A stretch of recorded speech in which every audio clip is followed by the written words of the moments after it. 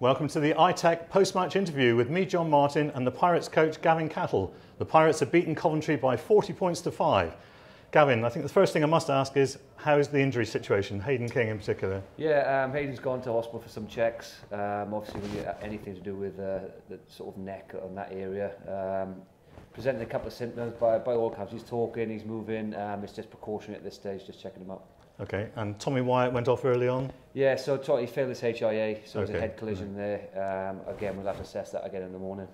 So 40 points to five sounds like a comprehensive victory, but is it fair to say it was probably tougher than that suggests? Uh, it was. I think um, obviously the last sort of 15 to 20 minutes, Coventry then were chasing the game and we capitalised on a few turnovers there. Um, first half was very patchy, um, end-to-end -end stuff. We really, in that final third, were very inaccurate, um, very loose, which is quite, quite unlike us. Um, and, and yeah, it was end-to-end. That first try was we were camped on their line ended up on yeah. our own try line, ended up turning over and scoring down the other end. Yeah. So, hey, look, it was. Um, what, what I was pleased with is just when we did turn the ball over and make a mistake, the attitude then to chase back or. So you always look at them sort of things as a coach mm. around the character, wanting to work hard for your teammates. Yeah, yeah. And um, although we were inaccurate at times, that was there in abundance. Yeah, I think the, the desire and endeavour was certainly there, evident today. Yeah, I think we showed flashes of really good stuff. Um, a challenge for us is trying to create those pressure sets uh, where we, I think we did a couple of times in the second half where we, you know, went through the phases, um, maintained our shape to a certain extent, but um, it's got some really nice tries. Yeah. Um, but it's, it's creating more moments like that, or, or staying patient within your kick game, um, staying patient in the final third. Just lacked a little composure, especially in that first half. Is it fair to say then that you think you probably left a few tries out there? You could have scored more. Yeah, we could have. Um, I think we could have just been more efficient with our energy. You know, when you're turning over, chasing back, the pitch was quite. Um, it's held up really nicely underfoot, but it's heavier than we used to. Um, and our boys looked quite tired around that 60 mm. mark, um, 50, 60 minute mark. I think we've got to look at as well our training week under the conditions we've been training as well. It's the first time we've come across these conditions this year, yeah, so it's yeah. just the body's adapting to that. Um, but like I said, if we're, we're, we're accurate there, you're not doing those chase backs, um, and then you're more efficient with the ball. So a bit of a double-edged sword. I thought there was some excellent defence by the Pirates as well on occasions because they put you under a lot of pressure. Yeah, and, the, and a lot of it was from turnover, and that's what I'm talking about. That character to get back, get, get in position, make that shot, get off the floor for your teammate. Um, uh, yeah, and that was there. Uh, so character-wise, you know, you can't fault the lads today. AJ Camp, man on the match, he was outstanding in attack, but also in defence.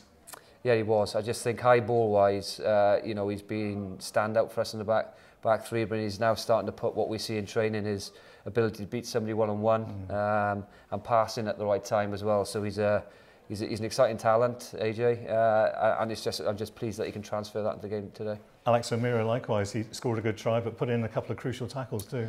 Yeah, he did. Um, I, and I think, you know, we've got to credit the, the work that goes inside the 15s. I think everybody emotionally remembers that winger dotting the ball down. Yeah, yeah. Um, it's just what's happened pre that. And I think, you know, our forwards got in between. We knew Coventry would, you know, have a heavy press in the in the middle of the field. We got our head through that contact, which enabled us then to play off quick ball. So, yeah, it goes hand in hand. Josh, Josh Caulfield and Danny Cutmore, brilliant in the second row. Josh had a nasty injury early on. He's, he seemed to be struggling, but he came through the game. Yeah, he, he's uh, looking for a rest, I think. Is he? Uh, no, no, Josh, he works hard. You know, he's 110% there. Um, I think we all had a bit of a, a, a physicality shake-up after that Harpy game, and them two um, have led from the front since that performance. So, um, yeah, it's good to see them boys uh, performing pretty well. You've stated that you're looking for consistency. It's, it's beginning to come, isn't it? Yeah, three games. Um, I'd like to see us uh, finish this block off against Scottish next week. Um, you know, the trade-off for the lads is off on them weeks off. We give them the full week off. Mm. Um, but you know, the, the trade-off then is when they're in, we're, we're working hard, and uh, we just touched on that at the end. There, we want to finish this block um, well and strong, uh, which then, you know, there's a lot of contention for places. There's a couple of injuries out there today that might take care mm, of that, yeah, but um, yeah. but yeah, it's a lot of content. You know, boys are chomping at the bit who are not involved in the 23 at the minute as well. We had Shay Tucker come back on the bench and scored a very good try from inside his own half, so it's good to get him back. Yeah, it is. Um, you've got Nico on the brink as well. Um, Shay's just had a niggly injury since that Richmond game. And, you know, uh, but Joe Elderkin, he's put his hand mm, right up has, in the last three yeah. games and he's brought a really good balance to his game. Uh, and physically as well, he's shown up really well. I think he put that up to another level for him this week. I think the halfbacks work well together. Yeah, we've got experience there. Yeah. Um, you know, both got strong opinions on the game and, you know, boss our boys around. So, Yeah, and then you've got Schwarzy and um, uh, sorry, Dorse on, on Yeah. just returning from injury as well. Trained really well last week, so we've got you know some boys who really like are pushing the standards of training. Good crowd here today. They got behind you as well. Yeah, it's lovely to see a building, isn't it? You know, um, great to see that noise. You know, from you know the, the, the boys getting over the whitewash and. Uh, you know, the reaction of the crowd. So uh, I'm just hopefully it keeps building this sort of. Uh, we've got to keep winning, keep performing. yeah. Hopefully they got their money's worth today, um, and yeah, let's see it grow. And London Scottish next week. They're bottom of the league without a win, but they're still dangerous, aren't they?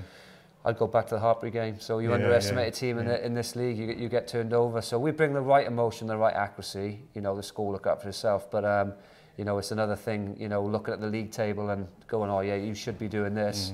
Mm, We've got to go there and do it. Gavin, thanks very much and congratulations on today's performance. Cheers, John. Cheers. As Gavin Cattle, reflecting on today's game, the Cornish Pirates have beaten Coventry by 40 points to 5. Thank you for watching the ITEC interview with me, John Martin.